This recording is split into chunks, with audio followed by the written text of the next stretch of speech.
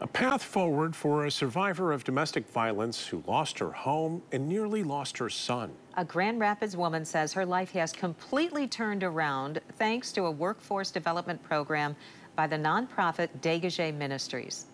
News 8's Byron Tollefson learned how the program got her back on her feet and headed toward a brighter tomorrow. Brian and Sue, time and time again, Eileen Smar has gone through unimaginable tragedy, but today she's headed toward success she never thought she'd see again. Everything changed for Eileen Smar when she nearly lost her teenage son. He was struck by a truck while riding his bike. He was 14 and it was a severe brain injury.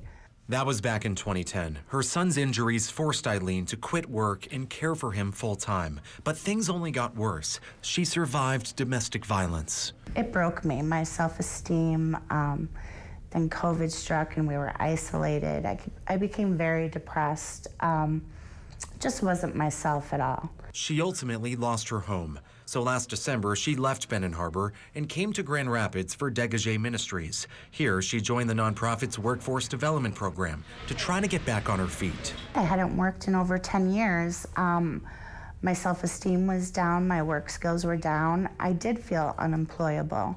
The six month program gave Eileen a paid job as a cashier in the kitchen. Others work in the bakery or the thrift store. While off the job, she spent her time inside Degage's classrooms, taking a course empowering her to recognize her value and provide a roadmap to get the job she wants. Her teacher, career coach Sharon Hayward. By the end of the class, I could just see people wanted to be in the class. They felt hope, they felt confident, they felt inspired, and they felt a camaraderie with each other.